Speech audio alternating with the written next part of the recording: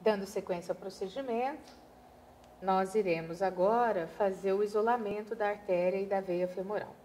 Então, aqui aparece para gente, né? Conforme eu tinha ressaltado anteriormente, mas agora com um maior zoom, mostrando então ali a veia femoral, coloração mais arroxeada, a artéria femoral está ali do lado e o nervo passando do lado da artéria. O que eu vou realizar aqui agora, então, porque tem tecido né, aqui acima desses vasos, vai ser aquele movimento de entrada com a pinça fechada e abertura da pinça. Entrada e abertura, com movimento sempre paralelo ao vaso e começando primeiro aqui do lado da veia femoral.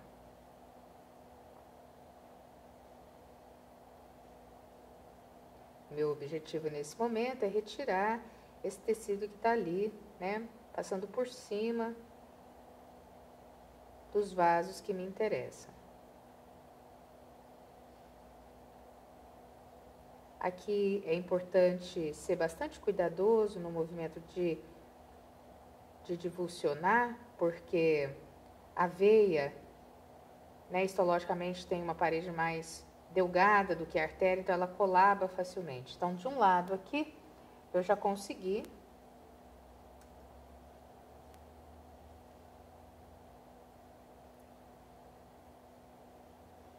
isolar a veia que aparece aqui. Então, eu já consegui do lado direito, né, ganhar aqui espaço do lado da veia.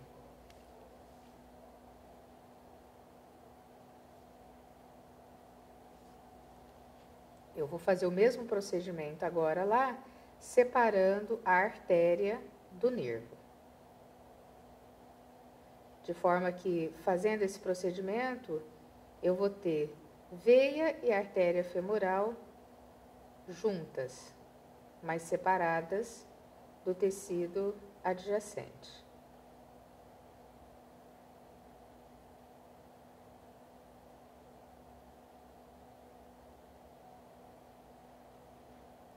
Então, feito isso, eu tenho ali exatamente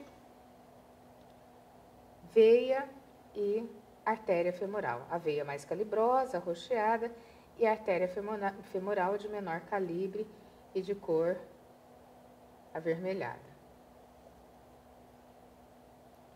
O objetivo aqui agora é separar, uma vez que eu tenha divulsionado e liberado as laterais aqui da veia femoral e da artéria femoral, o objetivo é separar artéria de veia femoral. Para isso, então, eu vou procurar alçar esses dois vasos na pinça da minha mão direita.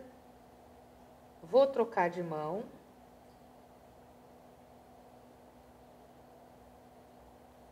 E agora eu estou alçando artéria e veia femoral com a mão esquerda.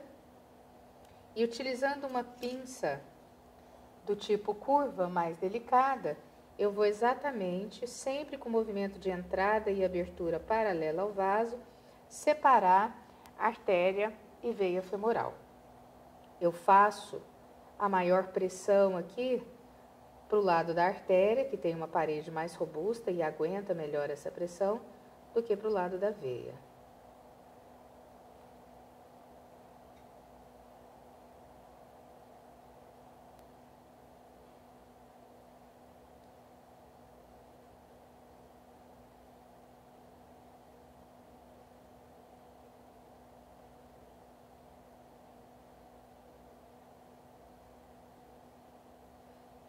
Então, reparem que eu consegui separar aqui a artéria da veia.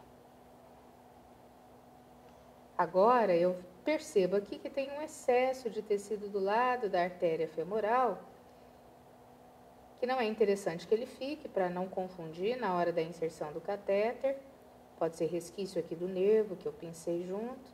Então, o que eu vou fazer agora, já que eu tenho artéria separada da veia, eu vou alçar somente a artéria femoral na pinça, vou deixar a veia descansando lá embaixo e vou fazer movimento aqui de abertura da pinça, exatamente para eu poder ganhar espaço de separação aqui entre a artéria e a veia femoral.